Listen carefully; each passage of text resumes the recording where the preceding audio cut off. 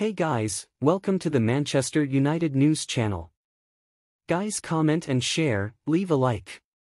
Because for this channel to have relevance I need your help. Let's go to the video.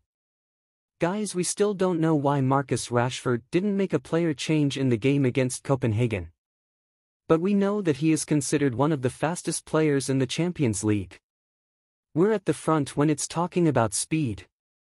But we have some things to improve.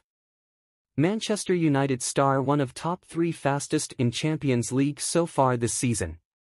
One Manchester United player has clocked up one of the fastest speeds in the Champions League this season. According to UEFA. Com statistics, Marcus Rashford is one of the quickest players in the competition through the opening three games.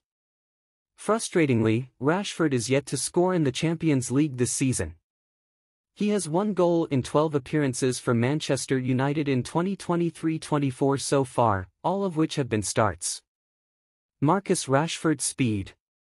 Champions League statistics show Marcus Rashford has been recorded as one of the fastest players in the tournament, halfway through the group stages. Karim Adeyemi, 36.3 km per hour.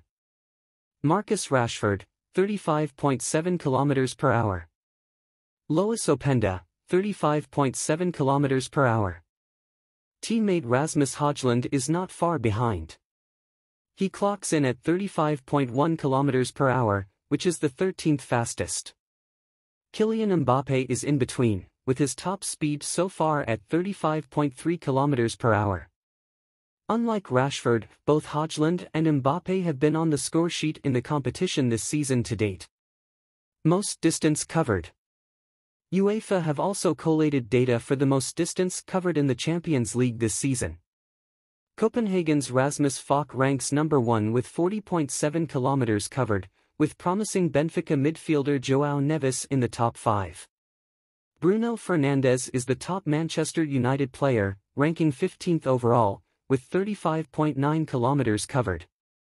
Rasmus Højlund follows with 33 kilometers covered, ranking 45th overall. It is unusual for a striker to figure so highly, and this shows the work rate the Dane is putting in. Thank you all for watching, subscribe to the channel to not miss anything, leave your like and comment it's very important for the channel growth. Until the next video.